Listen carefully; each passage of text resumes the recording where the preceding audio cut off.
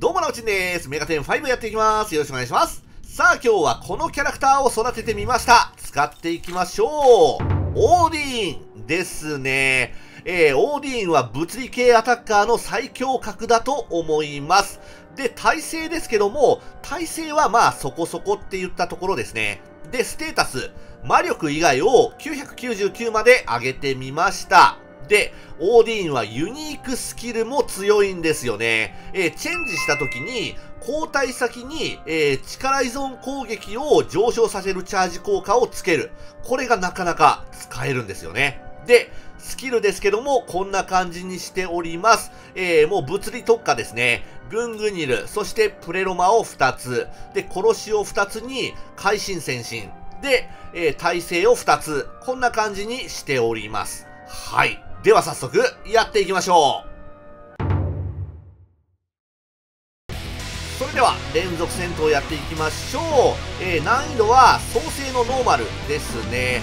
敵のレベルが150となっております、えー、まずはターンダバで下げていこうかな。OK 耐性ある？あ耐性ないね。グングニルはいはいはいはいはいはい。強い。グングニル。めちゃくちゃ強い。これあれだよね。うんだよね。あのー、思考の魔弾の倍ぐらいのダメージ出るんだね。これも大丈夫ね。OK いけさすがにね創生ノーマルになると結構 HP が高いんですよね。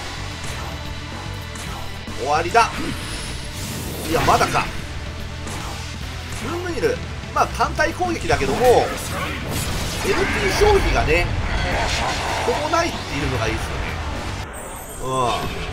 うん。ゲージマックスしてたらえー、MP 回復だけでまあある程度賄えてくれるのでいいよね。タンダバはい OK 下げてからのグングニル強い。グングニルむちゃくちゃ強い。OK 完璧ですね。はい次今回4体戦います。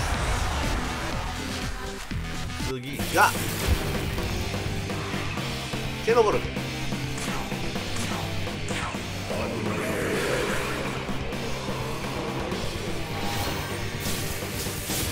OK あこれ100%だもんね。